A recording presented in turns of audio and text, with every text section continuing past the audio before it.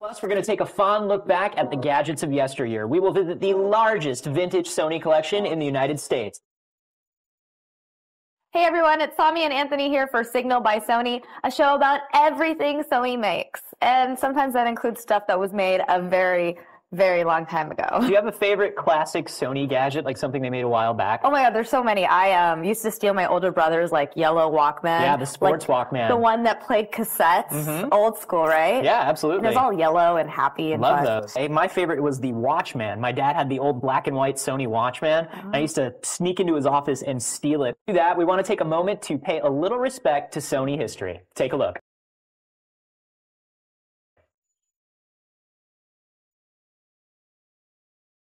My name is Ken Stevens, and I'm a senior VP for Sony. I've been with Sony since 1983. I started collecting very early on. The collection, to me, represents excitement, technological breakthroughs, things that are just as exciting as tablet is today. In this collection are some pretty notable pieces, like Sony's very first television. From 1960, we have the TV8 model 301W. And this television is so old that it doesn't even have UHF capability.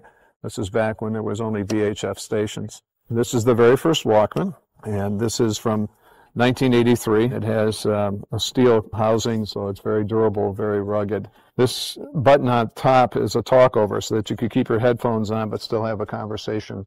Before there was Walkman, and before there was stereo, personal mobile entertainment look just like this. And, you know, this is from 1960 AM.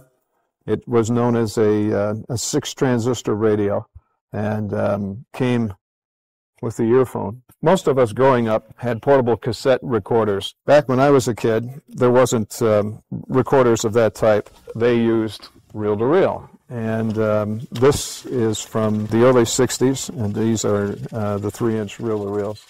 This is Sony's very first Mavica, and this was the first camera that didn't require celluloid film. I remember this being introduced by Akio Morita on the Today Show in the early 80s. Uh, back then, we didn't call it Mavica, it was known as Mavica. I don't know when the name was changed. Probably, you know, it was mispronounced so often that we just went with it. So in the late 70s and early 80s, this is what projection television looked like in America. The piece that I'm standing next to is a uh, KP5000. Uh, it's a 50 inch screen. This drawer pushes back, folds open, and exposes a mirror and projection tubes that bounce off the mirror and light the screen.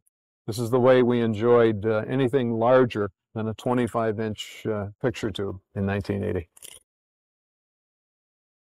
what we have on the table in front of us are iconic pieces of Sony's technology, milestone pieces, if you will. This is a Betamax. This piece dates from uh, approximately 1977, 1978, and um, as you can see, has the old-fashioned rotary style uh, tuner. This tape deck is from 1977. It is a uh, Sony TCK7. These are all solenoid, electronic touch and feel. This meant that it was very silent. There was no loud clicks. This is an Esprit amplifier. Uh, this was from a line of high fidelity product that was designed by Sony. Sonically, absolutely wonderful. And uh, it came to me from um, Akio Morita, our founder. This was um, part of his high fidelity system in his apartment in New York. This is the 4100 color television. This was the uh, first of its kind, a very small four inch screen, but color. Sony made this to uh, fit very nicely on a desk. Very typically Sony, it wasn't just a superior Trinitron color picture tube, but also a dic- pocket dictator. This is the Sony Watchman. It's a one inch black and white television. And as you can see, this is a uh, Detroit Tigers logo piece. These were seen in the early 80s in the stands, so that uh, not only were you watching the game live, but you had your television for the instant replay. Now, I don't think very many people would know what this was just by looking at it, but it's actually a turntable. And it's done in a very space saving vertical design. And uh, it's designed for the album to sit right in here very nicely. And uh, it plays either 33s or 45s. This is by no means it. Um, there are many more pieces in my collection, but we would need an entire day to walk through them. So hopefully you enjoyed um, some of the pieces that we selected today to share with you.